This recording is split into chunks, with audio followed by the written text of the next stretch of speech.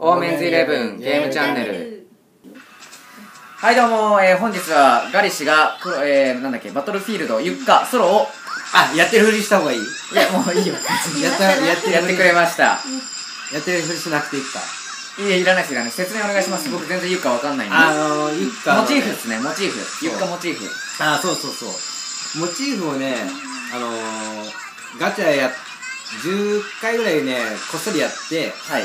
えっ、ー、とねあれが出たんですよ。あのー、あのミコトミコトだミコトミコトじゃないアバターじゃなくてなんだっけ？剣士ミコトでいいんだよ。ミコトの剣が出たんですけどはい。えっ、ー、とユッカモチーフが出なくて交換したんですよね、でなんで交換したかというとえっ、と敵撃破3体前に、えーと回復するんですよね。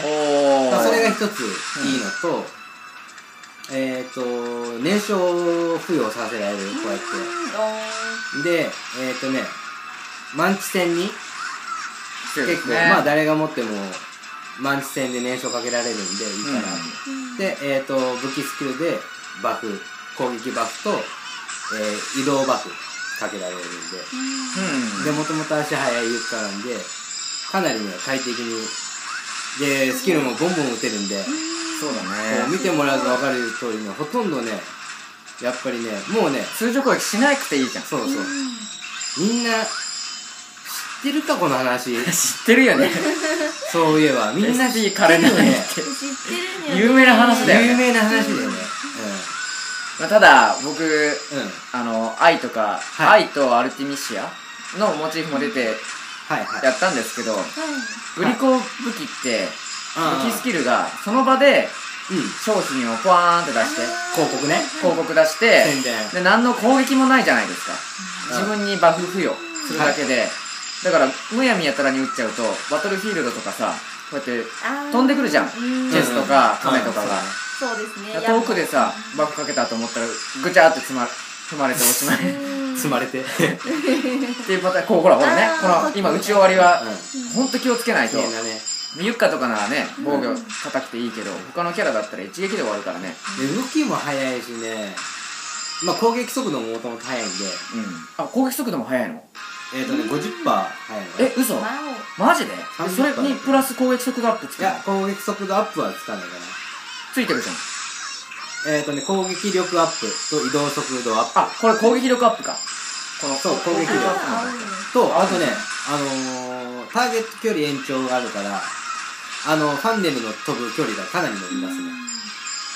えタターゲット距離延長がターゲットの武器にあターゲットの距離が延長するとファンネルが飛ぶ距離も伸びるんだ飛ぶっていうかそうだねあのー、ターゲットタゲを取んないと撃たないんですこれあそういうことねこのそうそうそうタゲを取らないとこれ何のファンネルなのこれこれ時計時計だね。うん。時計の針だなうん。今。時計。あとねそうそう武器オートスキルに被ダメージマイナス5%もついてる。結構てんこ盛りでいろいろこの武器とやっぱり相性がよくって。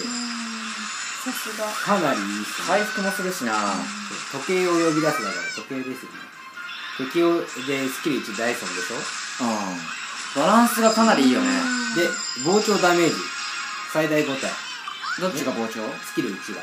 スキル1ああなるほでどあ30膨張ダメージなの？あれそう。そうだから敵を巻き込めば火力が上がる巻き込むほど。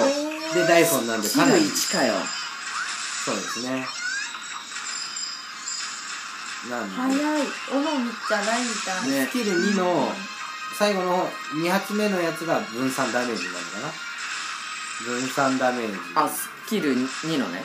えー、何それ？うんいいじゃんかなりいいじゃん。だってスキル2はバーってまず殲滅掃除してから一撃強いのが最後にボンっていいじゃん。そうですね。でもまあまあかなりぐちゃぐちゃですけど。プレイの方は。まあ俺みたいにねこれねあれですよ。手使ってやってないですからね。何使ったんですか？えあれですよ。箸箸。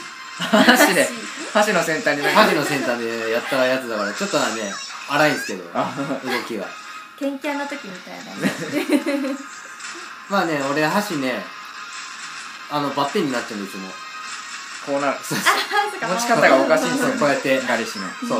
こうクロスして。そういう癖が出てますね。プレイにも。だけどうまいっすね。箸使った割には、そうなんですよ。滑らかですね、これ箸使ってる割にこの動きはすごいな。だから箸2つじゃん。2つに分かれてるから無理か。片手で2本やってんでしょ。無理だよね。うんなんだろうか。これ待って武器スキルが？攻撃？あ移動速度アップか。移動速度とアップとそう、えー攻撃バフ。これさうおでオートスキルが？んオートスキルが武器の？